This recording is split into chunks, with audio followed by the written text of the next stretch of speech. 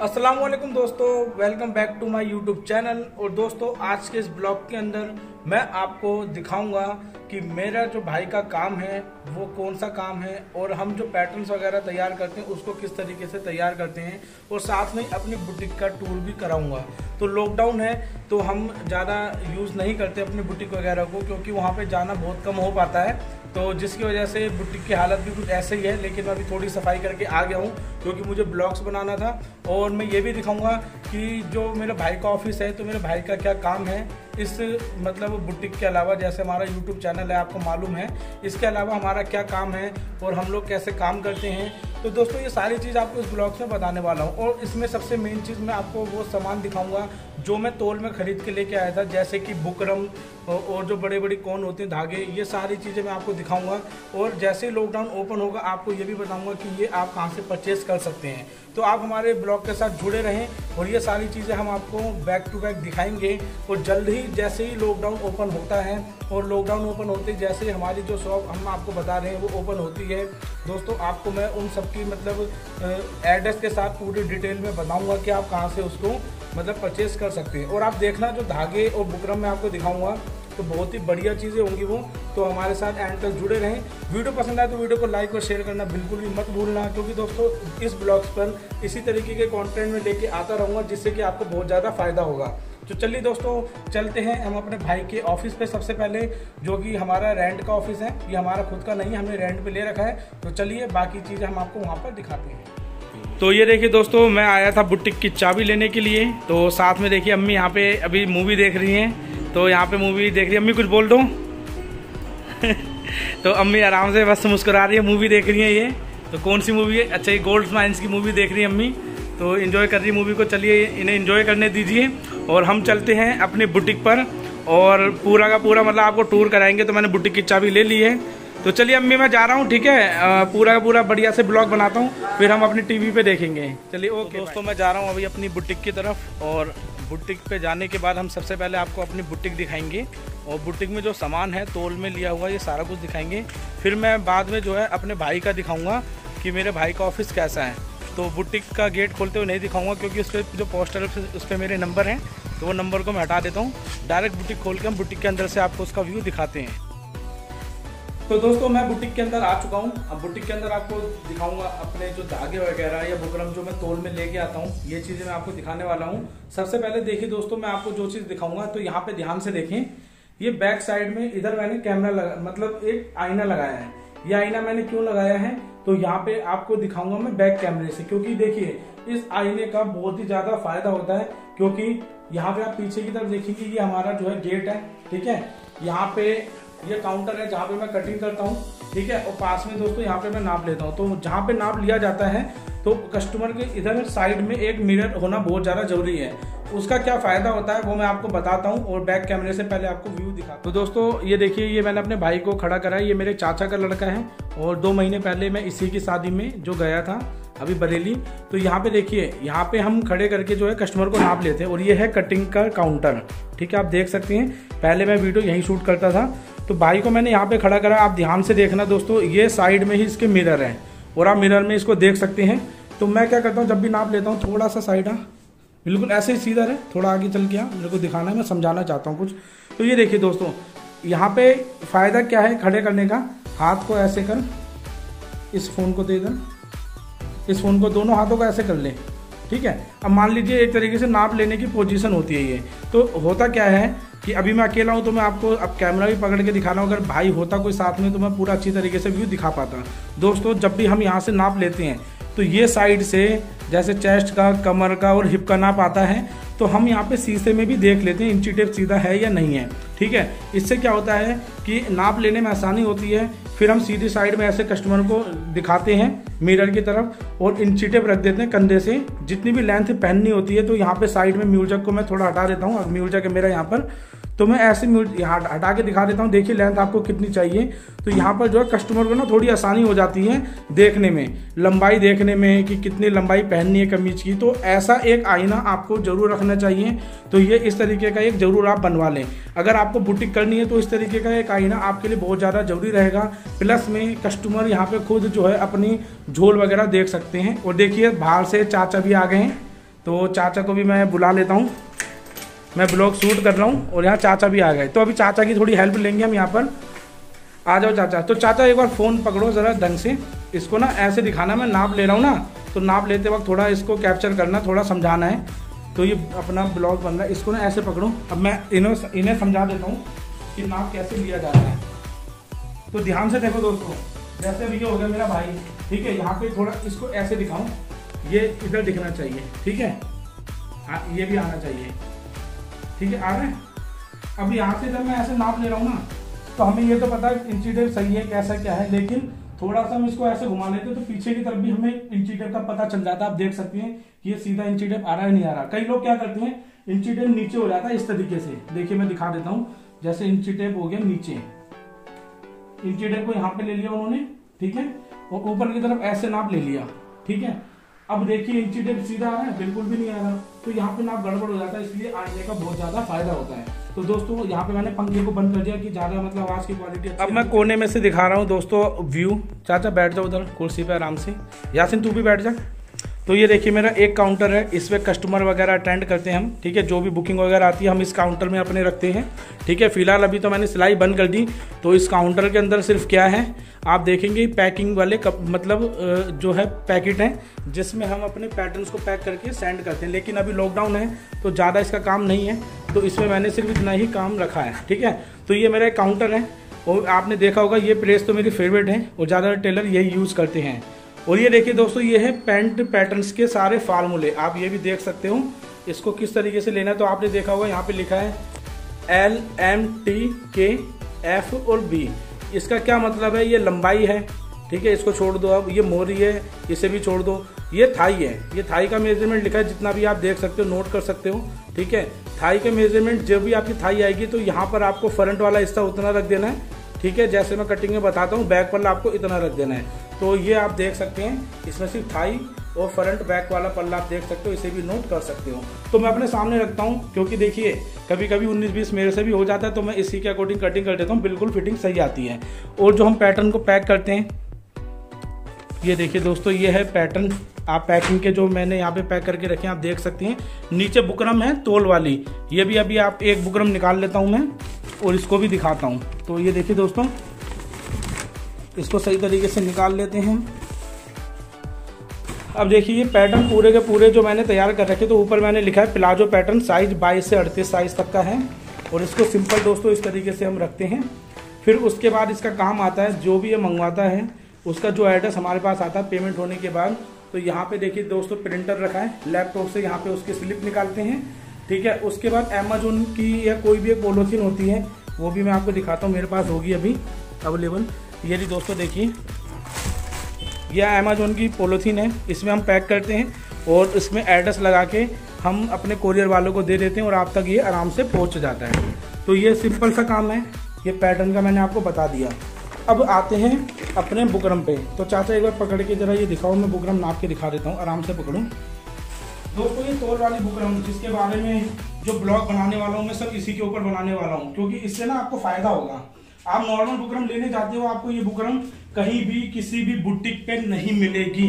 ये मिलेगी सिर्फ़ आपको तोल में सीलमपुर शांति मोहल्ला या जहाँ पे तोल का सामान आता है। अब देखिए इंची से मैं नाप के दिखाता हूँ। हंड्रेड सेंटीमीटर यानी कि एक मीटर हो गया।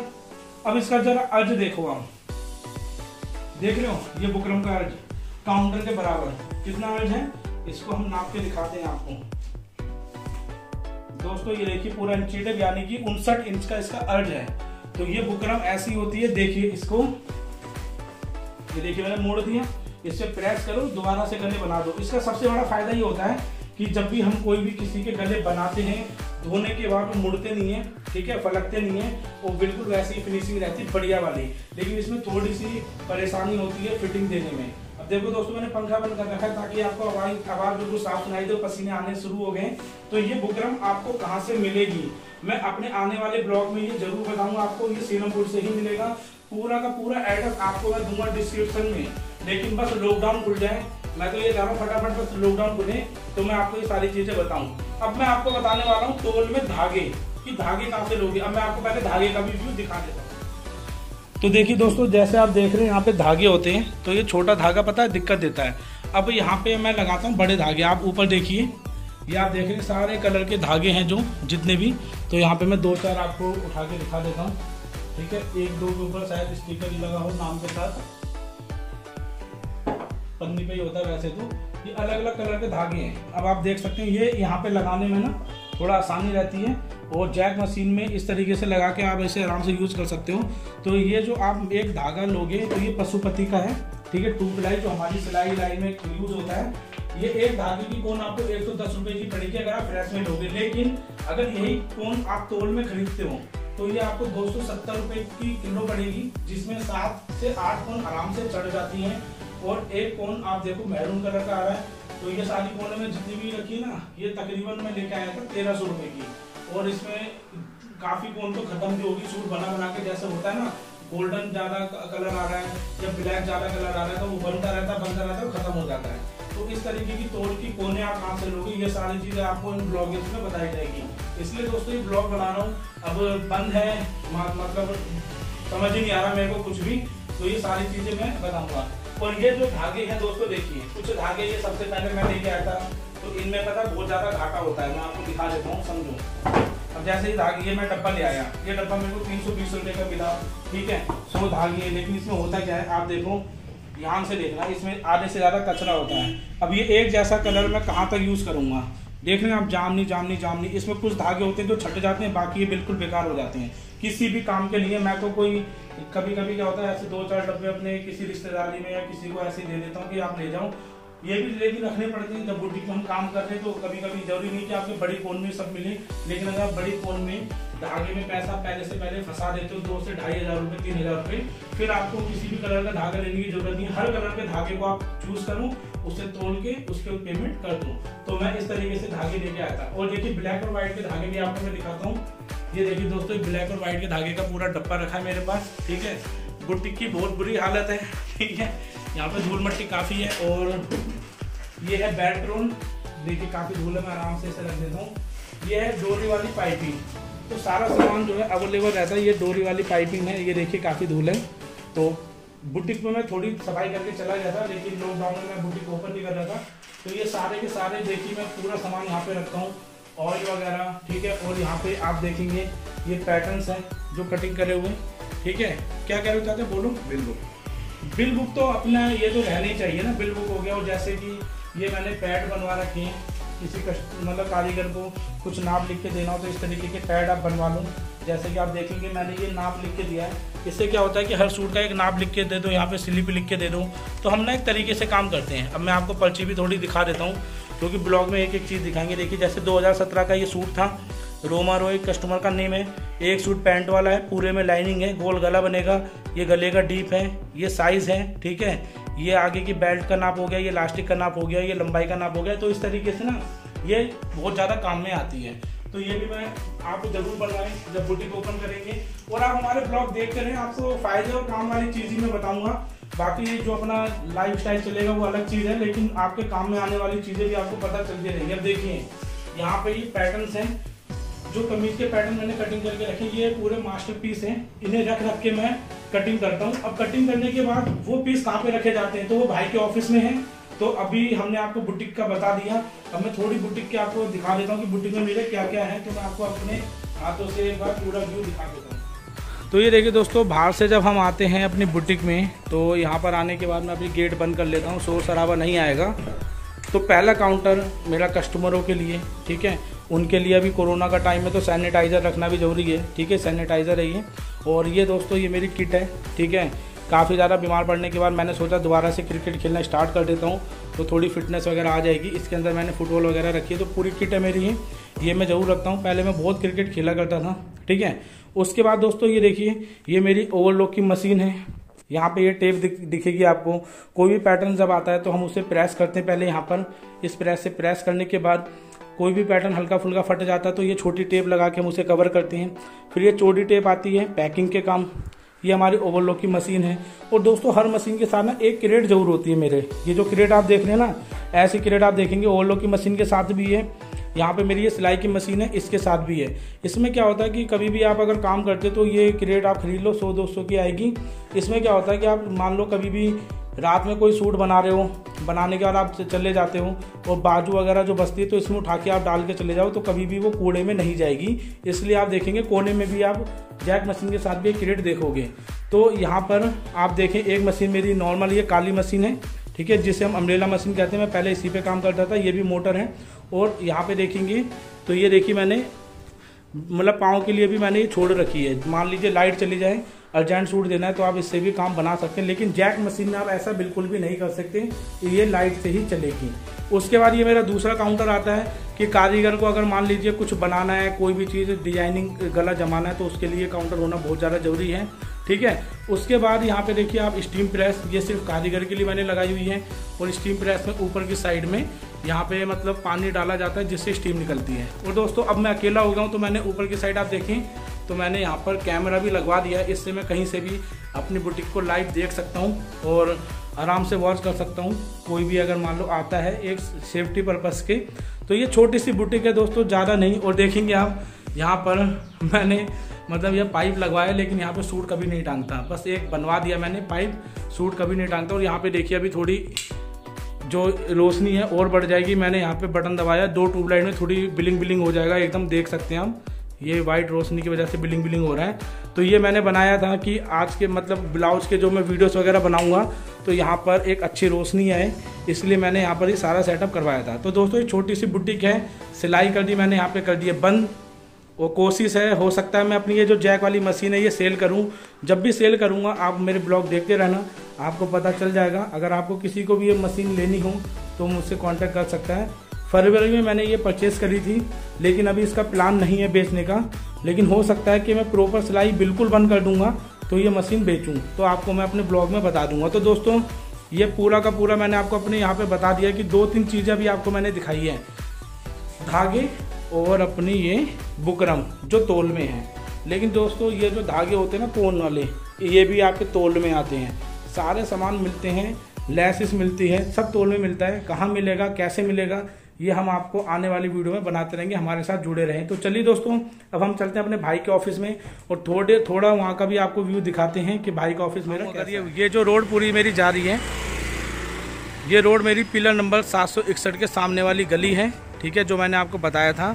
तो इस गली में बिल्कुल सीधा आना है, आपको कहीं पर नहीं मुड़ना, आपको मेरी बुटीक मिल जाएगी। और यहाँ से जब आपको मैंने दिखाया था तो देखिए ऊपर की साइड में जो नीला नीला आपको दिख रहा है, मैं थोड़ा सा जूम कर लेता हूँ। ये जो देख रहे हैं आप, ये मेरा घर है। तो मैंने आपको लास्ट वीडियो में दिखाया था ना? तो इस तरीके से दोस्तों, पास में बिल्कुल मेरे बुटीक हैं। और अब जो हम जाएँगे तो देखिए यहाँ से थोड़ा आगे बढ़ के ये रोड हम पकड़ेंगे। ये रोड जो हमारी जा रही है, ये जा रही है भाई के ऑफ़िस की तरफ़। तो चलिए ऑफ़िस पे चलते हैं और आपको वहाँ का भी ब्लॉग बना के दिखाते हैं। तो दोस्तों, यहाँ पे मैं एंटर कर चुका हूँ भाई के ऑफ़िस में और फ्रंट कैमरे से तो मैं शायद आपको व्यू नहीं दिखा पाऊँ, लेकिन मैं आपको बैक कैमरे से पूरा व्यू दिखाऊँगा। तो यहाँ पर मैं आपको सिंपल दिखा देता हूँ सबसे पहले। यहाँ पे आप देखें, ये पहला रूम है, ठीक है? ये दूसरा रूम है, जहाँ पे पैटर्न कटिंग है। ये रसोई है, ठीक है? और ये हमारा तीसरा रूम है। तो ये तो देखिए दोस्तों, बिल्कुल भी हालत सही नहीं है, इसलिए मैं सिंपल आपको दिखाऊँगा। तो देखिए, मैं थोड़ा आपका आगे तरफ़ चलता हूँ। तो ये देखिए, ये भाई का जो काम है तो यहाँ पे अभी धूल मट्टी आप देखेंगे, काफ़ी ज़्यादा धूल मट्टी है। ये देखें ठीक है?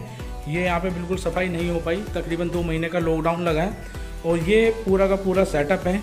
यहाँ पर कंप्यूटर वगैरह सब सेट करे जाते हैं, सबको चेक करा जाता है, ठीक है? फिर उसके बाद ये रेडी करने के बाद आप देखेंगे यहाँ पर कीबोर्ड है माउस है, ये हार्ड डिस्क है। और यहाँ पर भी देखिए हार्ड डिस्क रखी है। ये ठीक है तो ये सब टीएफटी वगैरह आप देख सकते हैं। ये टीएफटी वगैरह है और ये है हमारे सिस्टम जो हम बड़ी बड़ी कंपनियों में मतलब किसी को अगर रिक्वायरमेंट होती है दो कंप्यूटर की, पाँच कंप्यूटर की तो हम ये रेंट पे देते हैं। जो लोग अपना काम करते हैं मंथली रेंट हमको देते हैं। तो उनका भाई का मेन बिज़नेस जो है, वो कंप्यूटर का ही है। आप अगर गूगल पे भी सर्च करते हैं रजा टेक्नोलॉजी करके तो आपको भाई का नंबर मिल जाएगा। मान लीजिए अगर आपको दिल्ली दिल्ली में ही दो कंप्यूटर रेंट पे चाहिए हो तो आप यहाँ पे रजा टेक्नोलॉजी पे भाई का नंबर मिलेगा। आप उनसे कांटेक्ट करके पूरी डिटेल ले सकते हो। तो ये देखिए, इस तरीके का कंप्यूटर का काम होता है भाई का। फिर वहाँ पर हमने थोड़ा सा सेट करा है अपना काम। देखिए, मैं दिखाता हूँ अपने सेकेंड रूम में। तो दोस्तों, अब हम सेकंड रूम में चलते हैं। तो सेकंड रूम में आप देखेंगे, ये यहाँ पर देखिए कुछ टीएफटी वगैरह यहाँ भी हैं, ठीक है? मतलब जगह कम की वजह से थोड़ा अलग भी हमने रखा है। और ये जितने भी आप पैकेट देखेंगे तो मैं आपको एक दो पैकेट खोल के दिखाता हूँ। तो दोस्तों, इसके अंदर ना आपके प्लाजो हैं। जैसे कि इसमें लिखा है नैरो पजामा साइज़ लिखा है, ठीक है? तो यहाँ पे सब प्लाजो के हैं और इस तरीके से देखिए कटिंग करके हमने पहले से पहले रखे हैं। ये इसलिए रखें दोस्तों, क्योंकि देखिए मास्टर पीस होता है। हमने तीन, चार, पाँच, दस पे रखने के बाद कटिंग करते रहते हैं और इनको पोलोथीन में इसलिए रख दिया था क्योंकि बहुत ज़्यादा स्पेस ये घेर रहता बुटीक में ये सारी चीज़ें नहीं आती। क्योंकि ये तो सिर्फ़ अभी पजामे का है। पैंट वाला भी मैं आपको दिखाऊँगा, जो दूसरे रूम में है। तो यहाँ पर हमने इस तरीके से पैकिंग रखी हुई है। अब हमें जब भी जितनी रिक्वायरमेंट होती है जैसे बीस बीस हम हर किसी में से ले गए, इनको अच्छी तरीके से प्रेस लगाते हैं, इन पे मतलब अपने मार्कर से इनका मेज़रमेंट लिखते हैं, जहाँ से फटा होता है वहाँ टेपिंग करते हैं, ठीक है? तो सारी चीज़ ये करते हैं। तो ये सारे के सारे जितने भी नैरो पजामा जिसका आप प्लाजो भी बना सकते हो, वो पैटर्न्स हैं। और यहाँ पे देखिए कुछ कतरन्स वगैरह हैं, ठीक है? जो मतलब वेस्टेज होती हैं तो ये उसका मतलब है मतलब गत्ता, ठीक है? उसके बाद दोस्तों यहाँ पे आप देखेंगे तो यहाँ पे आप देखें ये आपके कंप्यूटर है यहाँ भी, ठीक है? इस तरीके से कंप्यूटर है। अब हम चलते हैं अपने लास्ट रूम में। तो उससे पहले मैं आपको रसोई दिखा देता हूँ। देखिए, रसोई की कितनी बुरी हालत है। यहाँ पर भी आप देखें। तो ये अभी लॉकडाउन है तो कुछ नहीं कर पाए ये देखिए, हमारी अलमारी हमने यहाँ पे रखी है। यहाँ पे सारे पैटर्न जो मैंने आपको बुटीक में दिखाए तो यहाँ पर होंगे। तो बहुत बुरी हालत है दोस्तों यहाँ की, क्योंकि अभी हमने दो महीने से सफ़ाई नहीं करी। तो आप देखेंगे किस तरीके से सारा का सारा माल पड़ा है यहाँ पर, आप देखें। और ये हमारे, क्या नाम है यहाँ पे? इस तरीके से दोस्तों ये सारा का सारा सामान है, भाई का ही है ये सारा का सारा, ठीक है? तो ये रसोई है तो हमारे कोई काम का नहीं है, क्योंकि हमने तो सिर्फ़ रेंट पे लिया था सामान रखने के लिए। अब हम आते हैं दोस्तों अपने मेन बड़े रूम में, ठीक है? आप देखेंगे। ये जितना भी है ना दोस्तों, ये पैंट की कटिंग है। तो आप देख सकते हैं कि मेरी बुटीक में इतना सामान नहीं आता, इसलिए मैंने यहाँ पे रखा है। और जो नीचे, ये जो आप देख रहे हैं, ये है पैटर्न मतलब ये है पेपर ये जितना भी है, सब पेपर है। इस, इससे ही हम कटिंग कर करके जो है तैयार करके रखते हैं, लेकिन अभी हमने बिल्कुल बंद कर रखी है। जैसे आपको मालूम है, तबीयत भी ठीक नहीं है मेरी और मुझे ही मास्टर पीस सारे बनाने होते हैं। और रूम वगैरह को भी अभी हमें बिल्कुल ठीक करना देखिए, आगे खिड़की वगैरह भी नहीं है, काफ़ी चीज़ें हैं। और बाकी हमने इस तरीके से देखिए, सोफे वगैरह लगा रखे हैं क्लाइंट वगैरह आते हैं भाई के मिलने के लिए। तो यहाँ पर इस तरीके से कर रखा है, पूरा मेज वगैरह लगा रखा है। और यहाँ पे ये देखिए, पूरा का पूरा मतलब आप देखें, धूल कितनी ज़्यादा है। आप देख सकते हैं, ये देखें। इतनी धूल मट्टी हो रखी है। तो ये दो महीना हो गया। तो तकरीबन ये देखिए भाई मेरा ये भाई देखता है इसको मेन बड़ा भाई है एक तो। मे, मेरे जो भाई हैं बड़े उन वो ज़्यादातर वीडियो बनाते हैं। जो मेरे से छोटे भाई हैं जो आपको मैंने दिखाया था कि वो हाफिज़ हैं। वो और ये वाला जो भाई है चाचा का लड़का ये दोनों का ज़्यादा मेन फोकस होता है अपने इस वाले बिज़नेस पे। तो इन इन सबको ये संभालते हैं। और बाकी दोस्तों आपने देखा हमारा कि मतलब एक तरीके से काम करा जाता है और इसी तरीके से दोस्तों हम काम करते हैं। तो देखा दोस्तों, आपको मैंने अभी अपनी बुटीक दिखाई, ठीक है? और बुटीक के साथ साथ मैंने पेपर पैटर्न भी दिखाया, काफ़ी मेहनत लगती है, आप देख सकते हैं। पूरे पूरे पैकिंग है। अब साइज़ लिख के हमने पोलोथीन में इसको रख दिया, वरना कहाँ पे फैला रहता, पता भी नहीं चलता पैट हमारा काफ़ी ज़्यादा नुकसान हो जाता, क्योंकि पेपर भी इस टाइम पे बहुत ज़्यादा महँगा आ रहा है, ठीक है? अब यहाँ पर हम जितने भी भाई हैं, सब मिलके काम करते हैं। ऐसा नहीं है कि वो जो कंप्यूटर का काम करता है तो वो सिलाई का कोई काम हो तो वो नहीं करेगा। उसको सिलाई का भी काम करना पड़ेगा, अगर उसका काम होता है। इसलिए दोस्तों, मैंने अपनी बुटीक को बंद किया था। काफ़ी लोग रीज़न पूछते थे, आखिर बंद क्यों किया? तो दोस्तों, देखिए, बंद करने की सबसे बड़ी वजह यह है कि जब मैं सुबह उठता हूँ, उसके बाद मुझे वीडियो सेंड करनी होती है। उसके बाद जब दोस्तों, नाश्ता वगैरह करने के बाद हमें वीडियो देनी है वीडियो देने के बाद दो बजे से चार बजे तक कॉलिंग टाइम शुरू हो जाता है, जो आजकल मैं नहीं ले पा रहा, तबीयत ख़राब होने की वजह से। उन लोगों को छुट्टी दे रखी है, वो उनको टाइम बढ़ा के आगे दे दिया जाएगा। मैंने उनको बोला है पर्सनली मैसेज करके। तो उसके बाद दोस्तों, जब टाइम हमारा चार बजे के बाद होता है तो जैसे उस टाइम पे खाना खा लिया, ठीक है? खाना खाने का फिर टाइम ऐसा हो जाता है तो हमें अपने पैटर्न वगैरह कटिंग करने में पैकिंग करने में लग जाता है। फिर इसी तरीके से रात हो जाती है। दोस्तों, काफ़ी ज़्यादा बिज़ी रहता था, इसलिए मैंने अपनी बुटीक को परमानेंटली बंद कर दिया। तो यहाँ पर दोस्तों जो हमने अब लिया है ये, अब देखिए लॉकडाउन ओपन होने की देरी है। जो भी चीज़ मैंने आपको अपने ब्लॉग में दिखाई बुकरम धाग मैं आपको बताना चाहूँगा, इतने बढ़िया बढ़िया कपड़े जो कि आप देखेंगे कि काफ़ी दस दस हज़ार बीस बीस हज़ार के लहंगे जो बने होते हैं, वो कपड़े तक आपको तोल में मिल मिल जाते हैं। लेकिन मिलते क्या है, हर एक चीज़ का मौका होता है कि आप मौके पे अगर वो चीज़ मिल जाए तो आप छोड़ो मत। तो मौके पे आपको कोई भी चीज़ मिलती है तो कहाँ से मिलेगी? यही चीज़ मैं आपको इन ब्लॉग में दिखाने वाला हूँ। तो कल मैंने आपको अपना स्टूडियो का बताया था। आज मैंने आपको अपनी बुटीक का और अपने भाई वाली जगह दिखा दी और ये भी दिखा दिया कि हमारे पैटर्न्स कहाँ पे होते हैं। तो दोस्तों, बस आप हमारी वीडियो को इसी तरीके से प्यार देते रहें।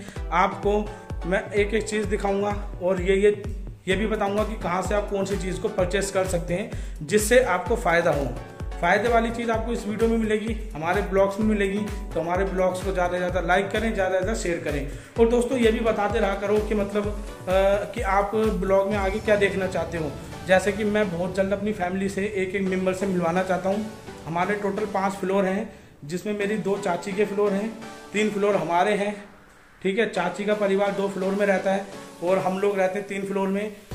हम कितने लोग पूरे टोटल रहते हैं, सब एक एक बच्चे से मैं आपको मिलवाऊँगा। और वीडियो के अंदर दोस्तों ये भी बताना चाहूँगा कि मेरे भतीजा है, एक एक भतीजी है। मेरे कोई भी बच्चे नहीं है, काफ़ी लोग कहते हैं, सर, अपने बच्चों से भी आप मिलवाओ। तो ये भी चीज़ मैं आपको बता देता हूँ, यहाँ पे क्लियर कर देता हूँ। तो आने वाली वीडियो के अंदर मैं आपको अपने जो है घर के हर एक मेंबर से मिलवाऊँगा। तो दोस्तों, आपको वीडियो कैसे लगी, कमेंट्स करके ज़रूर बताएँ। वीडियो पसंद आए तो लाइक और शेयर करना ना भूलें। Thank you for watching